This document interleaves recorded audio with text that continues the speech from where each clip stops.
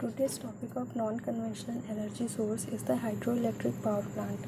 Hydroelectric power plant एक ऐसा power plant है, जिसमें हम हज अमाउंट ऑफ़ वाटर को एक रिजर्वायर या डैम में प्रिजर्व करके रखते हैं उसके बाद उसी वाटर की जो पोटेंशियल एनर्जी है, उसको उस वाटर को फ्लो करा के थ्रू द पेन स्टॉक और डिफरेंट चैनल्स हम उसकी पोटेंशियल एनर्जी को काइनेटिक एनर्जी में चेंज करते हैं that kinetic energy runs the mechanical load that is turbine and turbine के मूव करने से इलेक्ट्रिसिटी प्रोड्यूस होती है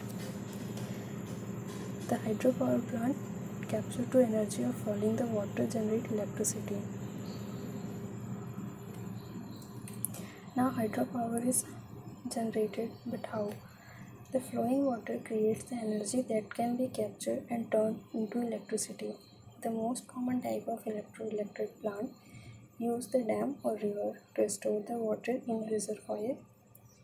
Water released from the reservoir flow through the turbine, spinning it and which is turns activates the generator to produce the electricity. This is the diagram of hydroelectric power plant or phenomena where the reservoir and intake or intake a gate is connected in the space. This channel where the water is flow with the pressure is called the penstock. The water turbine uh, is connected to the generator.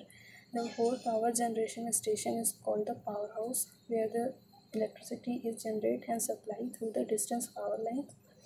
And after the moving turbine, the water flows into the river. Different types के reservoir हम बनाते हैं different capacity के लिए for large capacity is maximum two hundred megawatt medium fifteen to hundred megawatt and small one to fifteen megawatt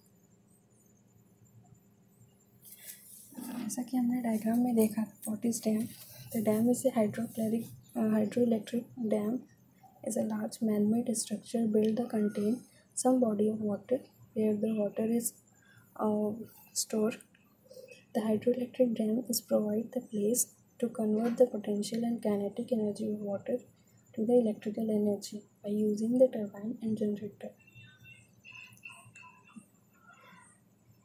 hydroelectric plant के लिए water का जो फ्लो है अप टू डाउन होना चाहिए there for the height that the water as reservoir is known as the hydraulic head and this one of the major factor determining how much electricity can be generated the higher the water is more potential energy is hit thus the more electricity can be generated.